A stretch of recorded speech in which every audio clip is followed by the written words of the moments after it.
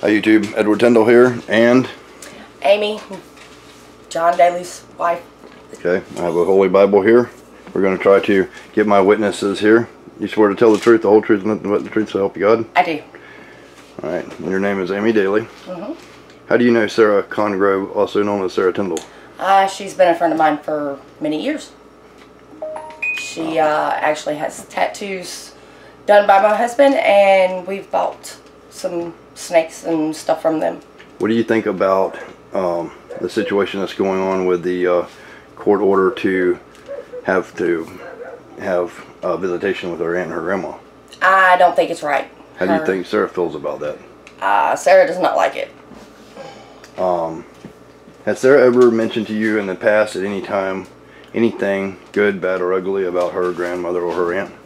Uh, that she never wanted to go back up north because um, when she talks to them, they have nothing good to say about her. They blame her for her mother's death, which is not right. But um, I've never heard her say anything good about them. It's always downing Sarah, you know, because she has tattoos and she doesn't live the way they want her to. That's that's really sad. Um, do you think that it's harsh on Sarah's health since you've been a witness here and watching them on the phone with her? What how she reacts with them on the phone to her? It is very unhealthy for her. She cries and screams and she just she doesn't want to talk to them. She's crying the whole time they're on the phone with her.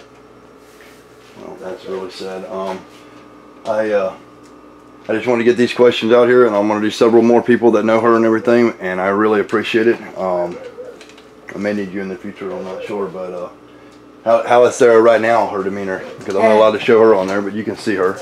She is smiling and waving. hey Sarah. Mwah. she's, she's got a big old smile on her face. Yep. All right, that's that's pretty much all my questions for now, and I really appreciate it. No problem. Thank you, and you uh, y'all have a nice Have a good day. day.